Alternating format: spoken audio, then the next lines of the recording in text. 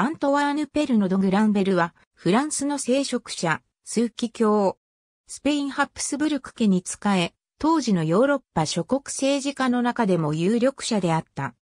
プロテスタント弾圧をネーデルラントで言ったことが知られる。また、巧妙な美術収集家でもあり、キツヤーノやアントニス・モルら数多くの芸術家たちの講演を行った。スペイン5名、アントニオ・デ・グランベラ。グランベルは、当時ブルゴーニュ自由伯領として、神聖ローマ帝国領であったフランシュコンテのブザンソンで生まれた。父ニコラはカール5世の大臣を務めた。ニコラはネーデルラントにおいて影響力を持つ地位にあり、1530年から亡くなるまでドイツにおける皇帝の最も信頼する助言者の一人となっていた。パドバで法学を、ルーバンで神学を学んだアントワーヌは、1540年に23歳でアラス司教座で地位を得た。1561年にはメヘレン広司教、1584年にはブザンソン大司教となったトリエント公会議へ派遣されるなど、聖職者としての有能さからカール5世の片腕と目されるようになったが、次第に外交に軸足を移し、多くの困難で脆い和平工作に携わるようになった。1550年、父の後を継いで大臣職に就任する。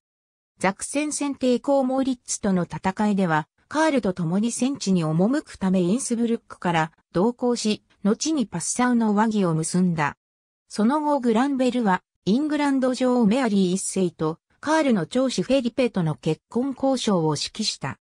1555年にカール5世が一戦から退くと、彼はネーデルラント政策に当たらされた。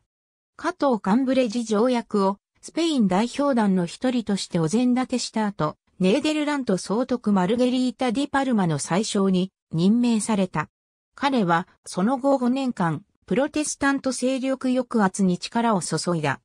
1560年にメヘレン大司教座を建て、1561年には自身が枢機卿となった。しかし宗教対立の激化から1564年にはスペインへ召喚され、任務を解かれてフランシコンテへ優待した。グランベラは1565年にローマへ向かった他は、その後6年間沈黙を守った。しかし1570年、フェリペに呼び戻され、別の任務を受けて、ローマへ赴いた。そこで彼は、オスマン帝国に対抗する、教皇庁、ベネツィア共和国、スペイン帝国との間の同盟関係樹立に従事した。これは、レパントの海戦に非常に役立つものであった。1575年、フェリッペ2世によってマドリードへ呼ばれ、イタリア問題の担当大臣に任命された。彼は晩年まで1584年のスペイン・ポルトガルの同君連合樹立、スペイン王女カタリーナとサボヤ公、カルロ・エマヌエーレ一世の結婚で、フランスに釘を刺すといった外交成果を上げていった。1585年、ブザンソン大司教となったが、肺病に侵され、1586年にマドリードで没した。遺体は故郷ブザンソンへ運ばれた。グランベルはティツィアーノ、レオーネ・レオーニといったハップスブルク家のパトロンが好んだ芸術家作品を集めた有名なコレクションを所有していた。これには父ニコラから受け継いだ目を見張る収集品同様、ピーテル・ブリューゲルの作品数点が含まれていた。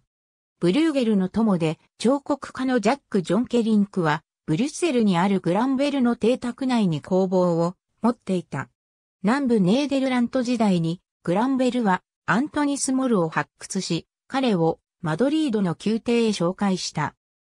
またグランベルはジャンボローニャの講演を行い、彼の初めてのイタリア旅行をお膳立てした。グランベルの死によって収集品は、オイーが相続したが、皇帝ルドルフ2世が優れた作品を売るよう圧力をかけた。現在、これらコレクションの多くは、ウィーンかマドリードにある。またグランベルは壮大な図書館を所有しており、現在一部がブザンソンに残っている。ありがとうございます。